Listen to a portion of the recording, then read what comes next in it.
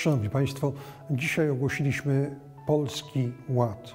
W jego ramach mój resort przygotował wiele konkretnych rozwiązań oznaczających realne wsparcie dla każdego z Was. Ich prezentację zaczynamy od bonu mieszkaniowego. Czym jest bon mieszkaniowy i jak zadziała w praktyce? Za przykład weźmy rodzinę z trojgiem dzieci, która marzy o kupnie własnego mieszkania lub domu. W ramach bonu mieszkaniowego rodzina ta otrzyma dopłatę w wysokości 100 tysięcy złotych. Ale bon to wsparcie nie tylko dla dużych rodzin. Bon mieszkaniowy jest dla wszystkich Polaków.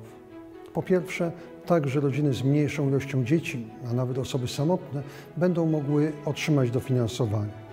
Po drugie, nie wprowadzamy żadnych ograniczeń związanych z wiekiem, z dochodami czy ceną domu lub mieszkania ale szczególnymi preferencjami obejmiemy osoby z niepełnosprawnością oraz tych, których zarobki nie pozwalają na wzięcie kredytu. Po trzecie, jeżeli Wasza rodzina się powiększy, możecie liczyć na wzrost otrzymanego już dofinansowania.